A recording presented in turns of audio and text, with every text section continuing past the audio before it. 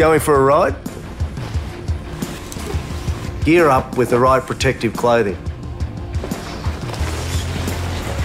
When you get out on the road, ride safely and ride to return.